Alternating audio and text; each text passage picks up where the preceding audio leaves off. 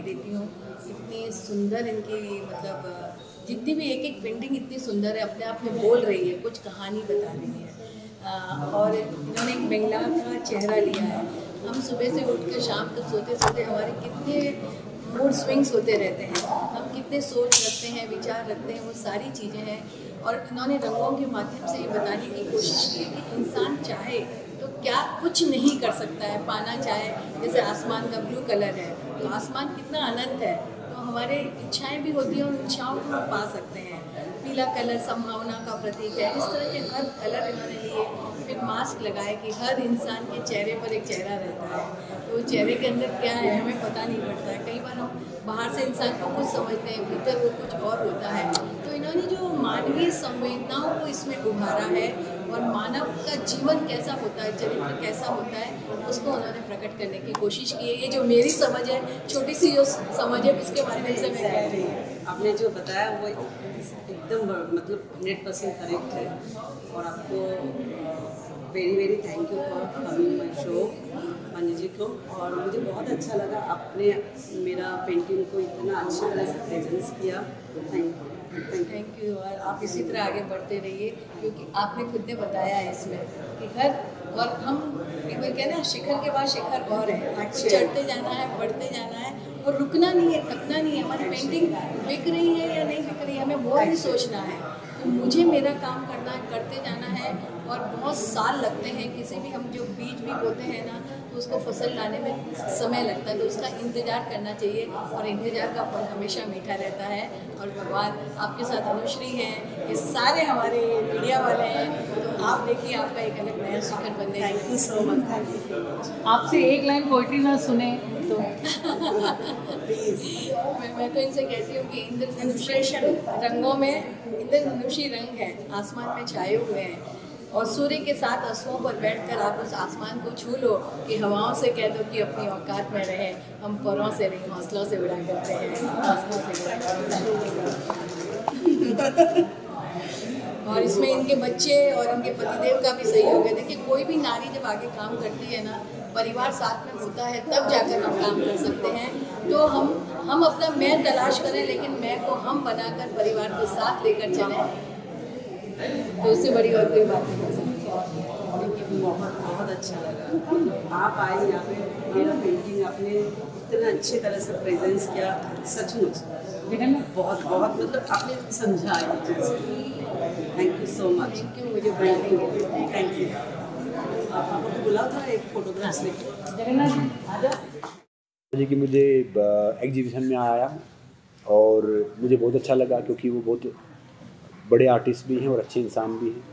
और जैसे मैंने बताया कि थैंक यू फॉर क्या आपने मुझे इतना, इतनी अच्छी हाथ से पेंसिल से भी बना के जो पेंटिंग दी, उसके लिए बहुत थैंक यू सो मच तो हमें जो ऐसे जो आर्टिस्ट हैं, जो इतना अच्छा काम कर रहे हैं, इतनी, इतने एक बेहतरीन लेवल पे तो हमें उन सबको और सपोर्ट करना चाहिए जितना हम कर सकते हैं। क्योंकि कला ऐसी चीज़ है कि कला को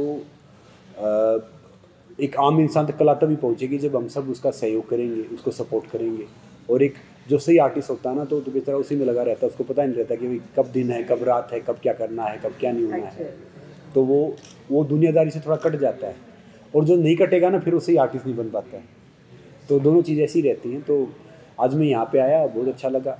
और आप सब के लिए बहुत बहुत शुक्रिया भैया। आप सब तो समाज का ही ना हो क्योंकि आप सबके बिना भी तो दिखेगा नहीं कि क्या क्या क्या आर्टिस्ट क्या कर रहा है या एक्टर क्या कर रहा है या स्पोर्ट्स पर्सन क्या कर रहा है या सोशल वर्कर क्या कर रहा है?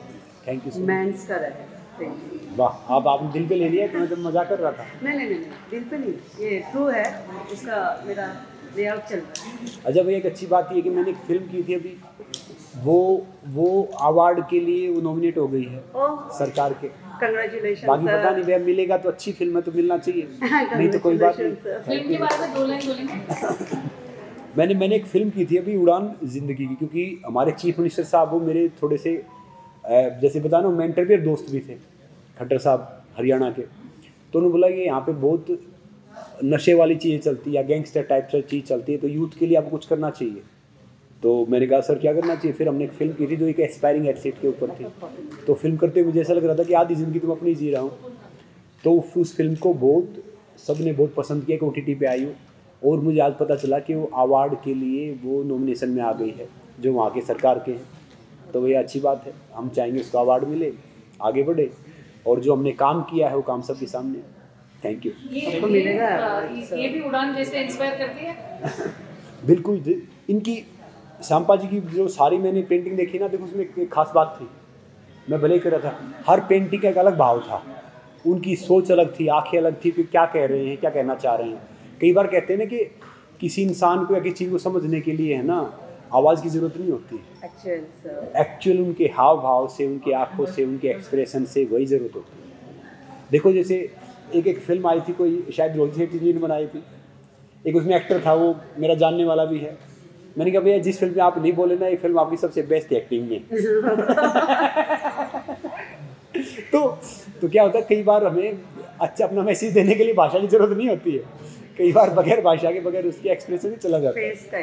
का का- और- श्यामपा जी आपकी जो पेंटिंग है ना वो यूनिक है अद्भुत है। आपने जो जितने कलर किए हैं सब कुछ किया है।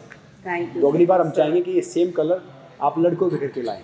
एक्चुअल नेक्स्ट आपको फिर आना है जी thank you for inviting me नमस्ते thank you thank you watching Samba balls paintings Yeah, I'm very happy, very honored to be here today, and thank you very much to Sampa Paul ji for inviting me, making me the guest of honor. I'm very impressed with her work today. I've always felt that art and education are intertwined, and I've been in educationist now for the past 25 years. So 25 सालों से मैं बच्चों को पढ़ाता हूँ मैं अध्यापक हूँ और मैं मानता हूँ कि आर्ट और एजुकेशन का बहुत गहरा संबंध है। बहुत सारे बच्चे हैं जो पढ़ना लिखना नहीं जानते हैं जो पढ़ना लिखना नहीं कर नहीं कर सकते हैं और उन बच्चों को हम आर्ट के थ्रू पढ़ा सकते हैं। तो आज जैसे संपा पॉल जी ने इतना अच्छा एग्जीबिशन किया है हिडन ब्यूटी करके और इतना अच्छा कॉन्सेप्ट है ह्यूमन नेचर का जो हमारी मानसिक प्रकृति होती है जो बहुत टाइम से और बहुत जिस समाज में हम रहते हैं सब बोल नहीं सकते कि उनका ट्रू फीलिंग कैसे है वो कैसे अपने आप को एक्सप्रेस कर सकते हैं।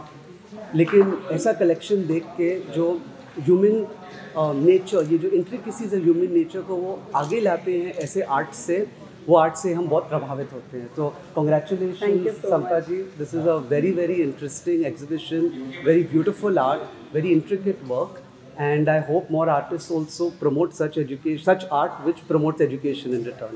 So thank you, thank you for having me. Thank you so much for coming my show और इन्होंने जो मतलब एक्सप्रेशन एक्सप्लेन किया बहुत अच्छी तरह से दिया। ओके और मुझे भी अच्छा लगा आपको मैं मेरा जो प्रेजेंस है मैंने जो आर्ट वर्क के थ्रू प्रेजेंट किया आपको बहुत अच्छी तरह से ये पता चलेगा क्योंकि आप एडुकेशन के थ्रू बिलोंग करते हैं। तो मुझे बहुत अच्छा लगा आप यहाँ पे प्रेजेंट किया और मेरे एग्जीबिशन अपने गेस्ट ऑफ़ ऑनर होके आए thank you so much thank. Congratulations.